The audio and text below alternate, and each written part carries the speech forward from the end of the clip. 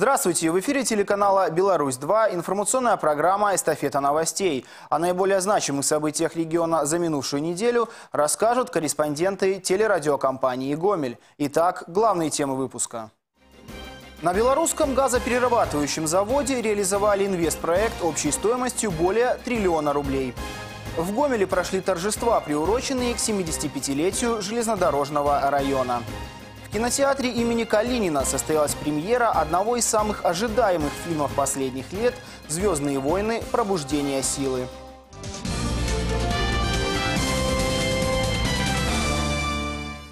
Самая масштабная модернизация 2015 года в нефтехимической отрасли страны.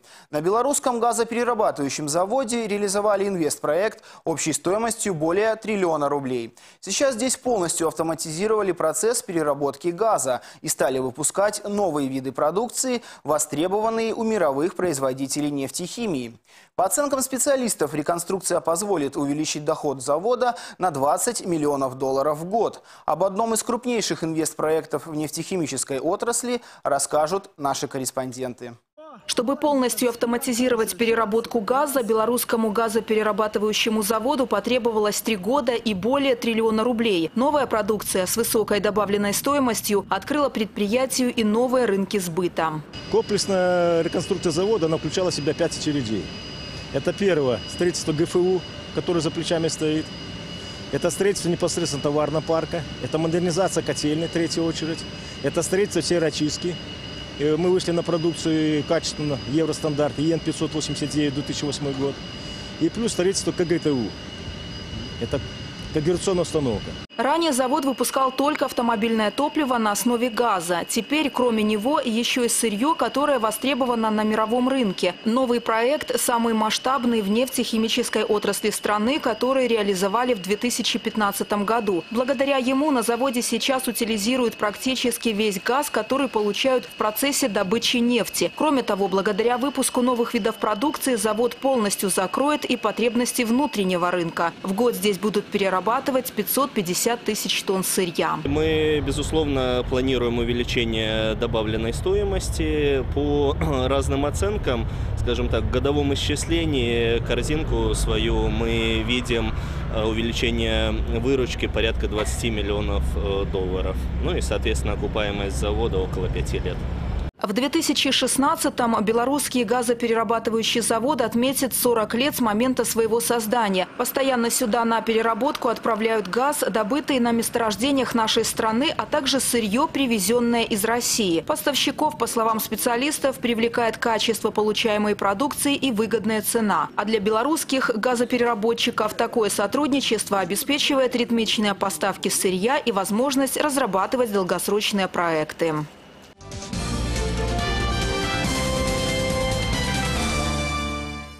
В Гомеле прошли торжества, приуроченные к 75-летию железнодорожного района.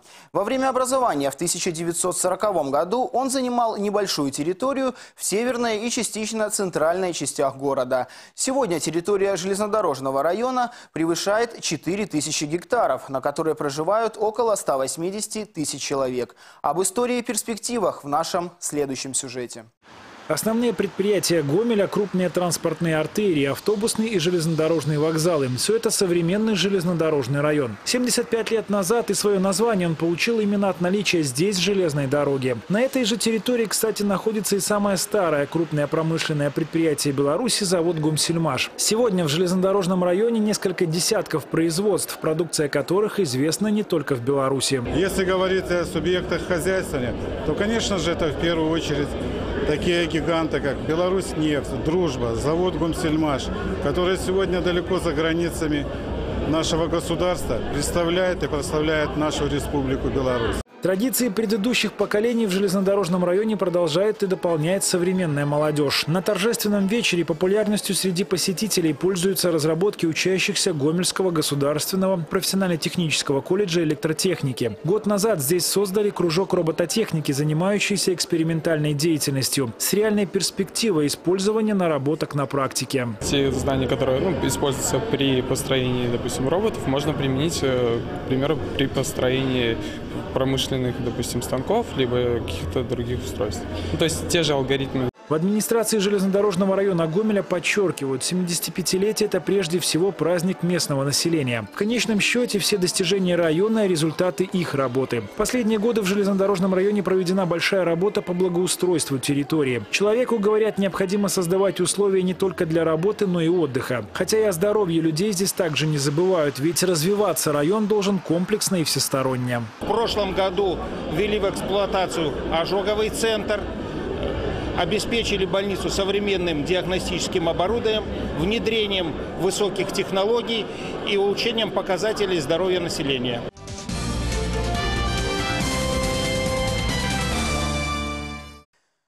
Свой юбилей отметил и Гомельский областной клинический онкологический диспансер. История учреждения ведется с 1945 года. 70 лет назад начиналось все с простого онкологического кабинета, где велся только амбулаторный прием. Теперь же это одно из ведущих учреждений здравоохранения Гомельщины.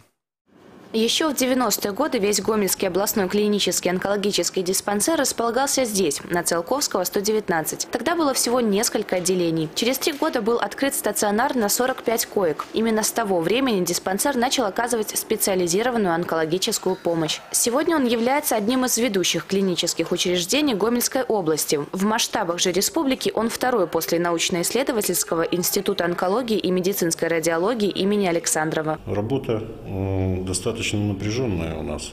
К сожалению, заболеваемость растет. В данном отделении, отделении химиотерапии, в среднем около 5 тысяч курсов химиотерапии проводится, как в лечебном, так и в профилактическом режиме.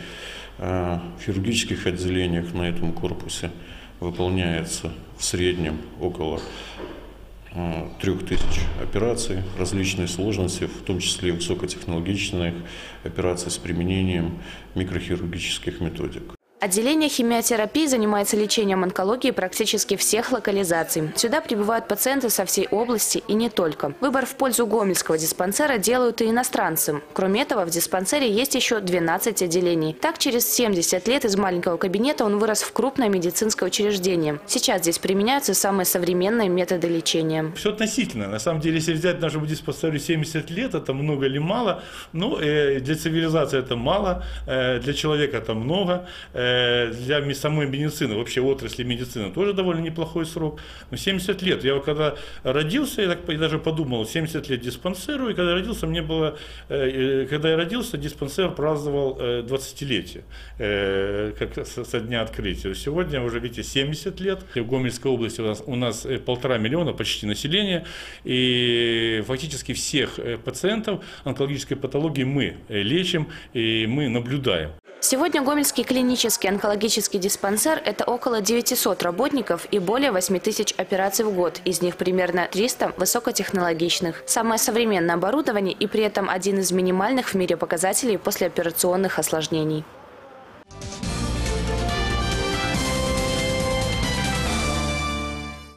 На Гомельщине началась практическая реализация областного благотворительного проекта «От чистого сердца-2». Его цель – оказание помощи молодым инвалидам, проживающим на территории области. Первой акцией стало приглашение людей с ограниченными возможностями в картинную галерею Гаврила Ващенко, где им вручили подарки.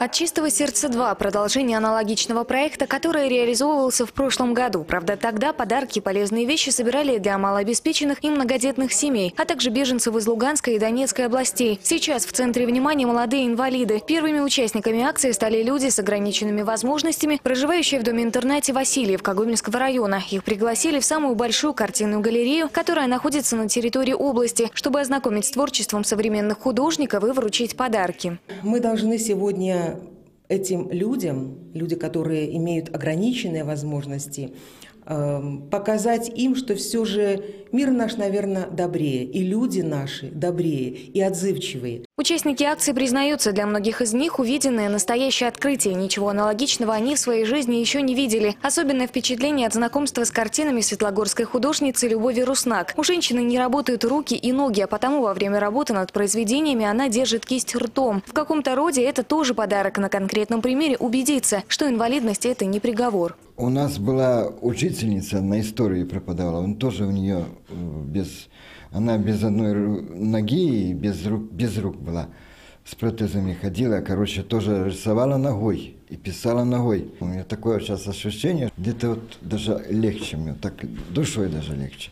Что я так вот говорю, мне даже душой легче, что я здесь. Сегодня на Гомельщине проживает около 600 молодых инвалидов. В рамках проекта «От чистого сердца-2» для них предполагается организовать несколько утренников. Тем, кто приехать не сможет, вручают подарки по месту жительства. Главное, не оставить никого без внимания. Общение тех людей, которые оказались даже вот в интернатах, они хотят общаться э, с теми людьми, которые живут в семьях, с теми же детьми, с теми же общественными объединениями. Для них это огромная радость. Благотворительная акция чистого сердца продлится до 13 января. В этом году она проходит под патронажем областного исполнительного комитета. Среди организаторов также телерадиокомпания «Гомель», областная организация Красного Креста, Гомельская епархия, Белорусской православной церкви. Неравнодушие к судьбе других в последние годы это становится отличительной чертой жителей Беларуси.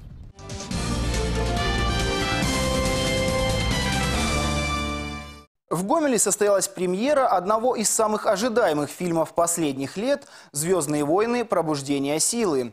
Первая лента культовой саги вышла на экраны в 1977 году.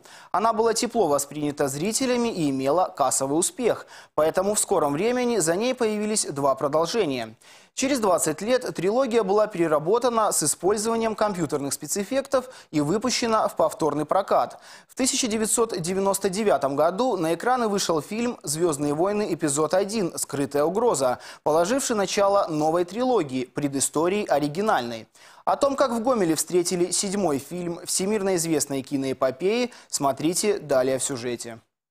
Такую знаковую премьеру в Гомеле встретили неординарно и с масштабом. В кинотеатре имени Калинина перед началом фильма развернулось феерическое космическое шоу. Гостей вечера развлекали главные персонажи «Звездных войн» – джедаи и ситхи, представители светлой и темной стороны силы. Вместе с ними присутствующие участвовали в интересных викторинах и конкурсах на знание сюжета и героев этой всемирно известной киноэпопеи. Ответы на вопросы поступали мгновенно, что совсем неудивительно. Здесь собрались настоящие фанаты «Звездных войн». Большинство из них знают фантастическую сагу детально детально и всей душой болеют за успех нового седьмого эпизода. Известно, что фильм уже хороший. Чуть-чуть удалось прочитать рецензию от людей, которые успели оценить раньше нас. Чуть-чуть совсем дальше не читал, потому что не хочу портить ощущение вот этого всего нового. А, будет круто просто, я это чувствую. Между тем, для создания еще большей атмосферы фантастики и экшена здесь также разместили почти трехметровых трансформеров. Они хоть и не имеют прямого отношения к фильму «Звездные войны», однако этот аттракцион пользовался у гостей не меньшим спросом. За несколько минут до демонстрации киноленты в зале кинотеатра развернулось световое шоу «Битва джедаев и ситхов». Именно цвет световых мечей отличает положительных героев от отрицательных. После этого состоялся показ долгожданной премьеры. Многие киноэксперты сходятся во мнении, новый эпизод «Звездные войны. Пробуждение силы» имеет шансы, чтобы стать одним из самых кассовых фильмов за всю историю мирового кинематографа. С этими прогнозами согласны и сотрудники киноиндустрии Гомельщины. В 2015 году наиболее кассовым фильмом у нас числится в настоящий момент фильм «Форсаж 7», который, где мы собрали около 1 миллиарда рублей. Но, судя по количеству проданных предварительно билетов, их продано более 4 тысяч билетов на «Звездные войны. Пробуждение силы», седьмая часть,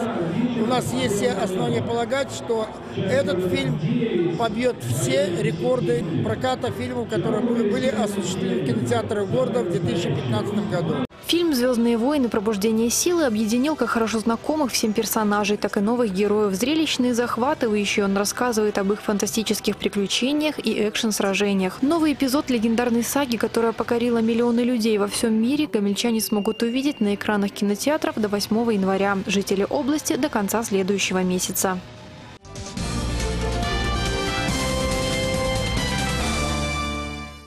На этом наша программа завершена. Смотрите эстафету новостей по понедельникам в 7 утра на телеканале «Беларусь-2». В студии работал Дмитрий Котов. Всем хорошего настроения и удачной недели. До встречи.